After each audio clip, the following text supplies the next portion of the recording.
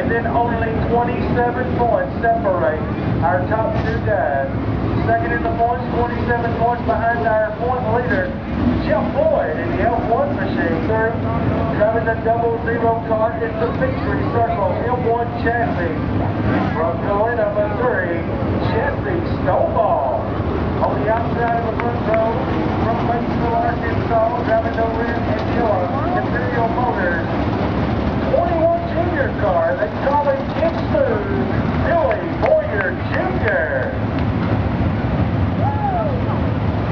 On the inside of row number two, driving the Kirby Specialties Incorporated number 65. He's from Russellville, Arkansas, Dwayne Pottinger.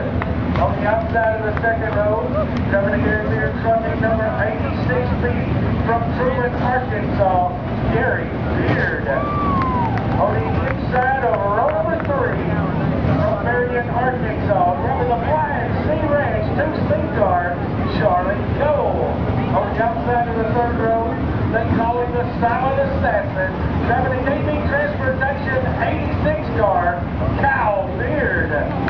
Inside of row number four, driving the Joe Gibbs old 97 Hill car from Benton, Missouri, Joey Mack.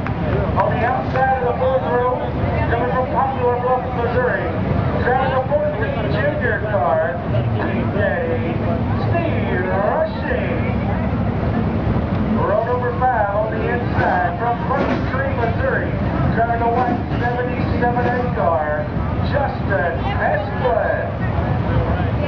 On the outside of the fifth row, from Walnut Ridge, Arkansas, driving a Dupsy company-powered F1 machine, they call it the.